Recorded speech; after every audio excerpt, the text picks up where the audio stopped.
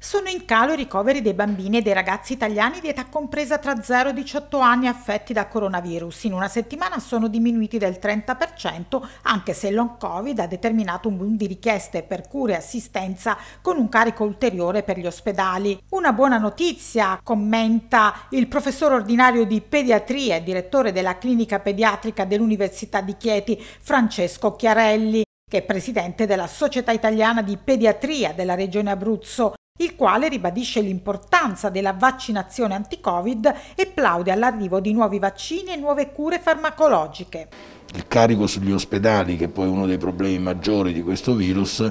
si sta progressivamente riducendo in tutta Italia. La Società Italiana di Pediatria, non io ma tutti i pediatri italiani, hanno molto chiaramente indicato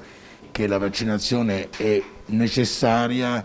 direi indispensabile anche nei bambini. Devo dire che complessivamente la percentuale sì, non è stata forse entusiasmante, però ricordiamoci, ed è stato segnalato anche dall'Istituto Superiore di Sanità recentemente, che ben il 91% degli italiani si sono vaccinati, quindi vediamo il bicchiere mezzo pieno. Certo sarebbe stato meglio se anche i bambini fossero stati vaccinati,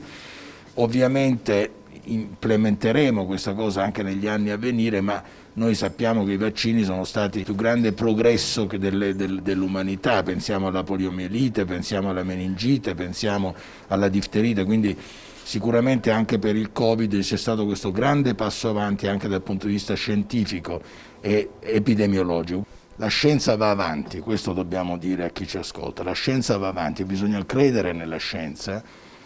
e la scienza ha consentito di avere rispetto a due anni fa, non ci dimentichiamo come eravamo due anni fa, due anni fa eravamo a mani vuote praticamente, a mani nude, oggi abbiamo alcuni ottimi vaccini, non solo uno, ce ne sono tanti, di varia metodologia,